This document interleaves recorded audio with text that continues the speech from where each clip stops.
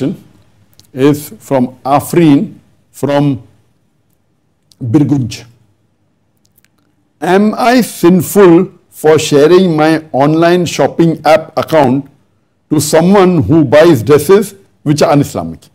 Please let me know. It's very important.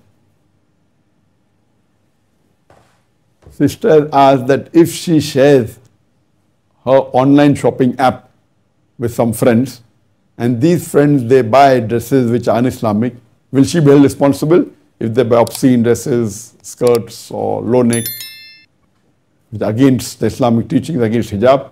Will she be responsible? Is she sinful? Yes, she is sinful. Because Allah clearly says in the Quran, in Surah Maida, chapter number 5, verse number 2, that help one another, the believers should help one another in bir and taqwa, in good deeds and righteous things.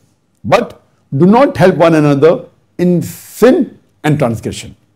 So if you are helping one another in sin and transgression, this is prohibited.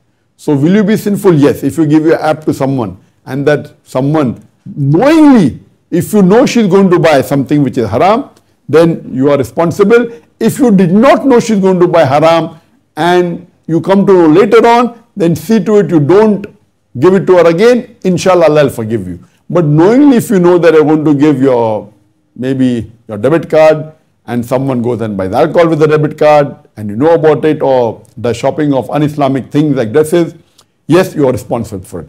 Unknowingly, if you if you give and you did not know and they do it and then you come to later on, you can ask for forgiveness inshallah you'll be forgiven. But knowingly, if they utilize your, your shopping online card or your debit card and if they buy things which are haram, even you are responsible and held responsible for that.